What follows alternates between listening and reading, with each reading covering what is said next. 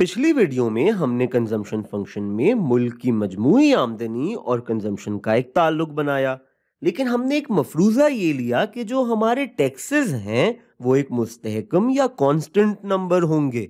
हमने टैक्सेस को टी से लिखा था, लेकिन अब एक सोचने वाली बात यह है कि ये लाजमी नहीं है कि मुल्क में टैक्सेस का तयन आज़ादाना होगा। अक्सर ये टैक्सेस मुल्क की मजमू आमदनी पर इन्हिसार करते हैं। और आमदनी के साथ साथ बढ़ते या कम होते हैं। तो अगर हम अपने मॉडल को हकीकत के करीब लाना चाहते हैं तो हम कह सकते हैं कि मुल्क में टैक्सेस आमदनी से जुड़े होंगे। यानी एक टैक्स की शराह या रेट होगा जो कि आमदनी पर लागू होगा।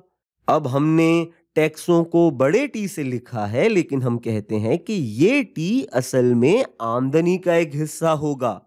तो अब हम टैक्सों की शरह को छोटे टी से लिख लेते हैं।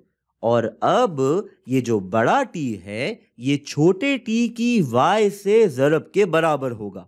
अब अगर हम ये बात के बड़ा टी छोटे टी की वाई से जरब के बराबर होगा अपने फ़ंक्शन में डाल दें तो हमें एक नया फ़ंक्शन मिल जाएगा, जो होगा तो मुल्क के जीडीपी या मजमुई आमदनी और कंजम्पशन का ताल्लुक।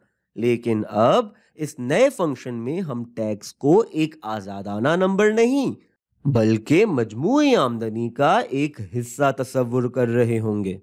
हमारा पुराना फ़ंक्शन है, बड़ा सी बराबर होगा छोटे सी वन जरब वाई जमा छोटा सी ज़ीरो माइनस छोटा सी वन जरब बड़ा टी लेकिन अब हम बड़े टी की जगह छोटा टी जरब वाई लिख देंगे।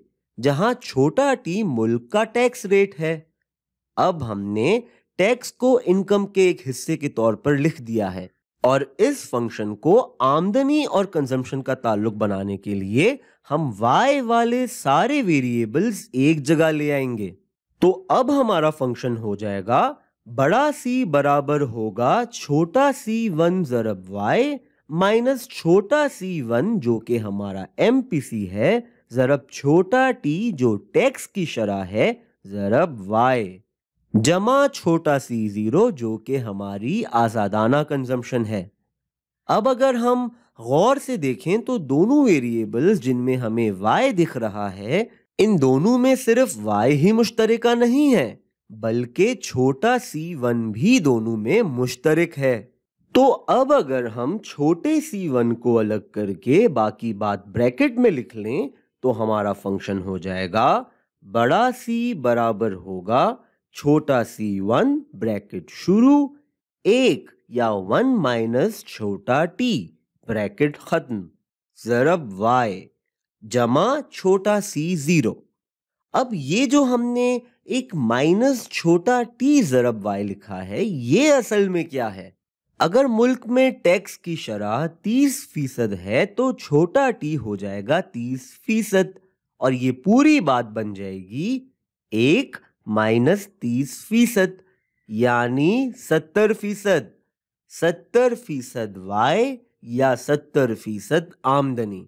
और सत्तर फ़ीसद आमदनी ही होगी जो टैक्स अदा करने के बाद लोगों के पास रह जाएगी। और ये बात हमें मालूम है कि टैक्स के बाद बच जाने वाली आमदनी को हम डिस्पोजेबल इनकम कहते हैं। अगर हम इस पूरी बात को डिस्पोजेबल इनकम कह दें तो फिर ग्राफ पर इस सारी बात को बनाना बहुत आसान और सादा हो जाता है। अब हम इसको दो तरीकों से बना सकते हैं।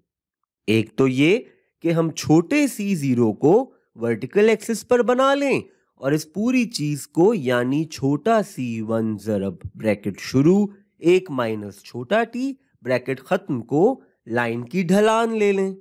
ऐसे हमें कंजम्पशन और मजमू आमदनी का ताल्लुक एक लाइन के तौर पर मिल जाएगा। लेकिन हम ये भी कह सकते हैं कि हम ताल्लुक को कंजम्पशन और मजमू आमदनी के बीच बनाने के बजाय छोटे सी वन को ढलान के तौर पर ले लें और इस ताल्लुक को कंजम्पशन और ब्रैकेट में एक माइनस टी जरब वाई के बीच में बना लें, यानी कंजम्पशन और डिस्पोजेबल इनकम के बीच बना लें, और हॉरिजॉन्टल एक्सिस पर हम वाई लेने की बजाय one minus t in bracket multiplied by y को ले लें। लेकिन ऐसे जैसे हमने पहले कहा, हम दरअसल डिस्पोजेबल इनकम और कंजम्पशन का ताल्लुक बना रहे होंगे और बात उसी बुनियाद पर आ पहुंचेगी जहाँ से हमने कंजम्पशन फ़ंक्शन की बात को शुरू किया था। और ऐसे में हमारी लाइन की ढलान छोटा सी वन ही होगी। तो हमने ये बात यहाँ इसलिए की कि अक्सर बात को सादा बनाने के लिए मुल्क के मजमू टैक्सों को एक आज़ादाना नंबर के तौर पर ले लिया जाता है। लेकिन अगर हम टैक्सों को मजमू आमदनी से जोड़कर देखना चाहें तो बात कुछ ऐसी लगेगी जैसी हमने इस वीडियो में देखी।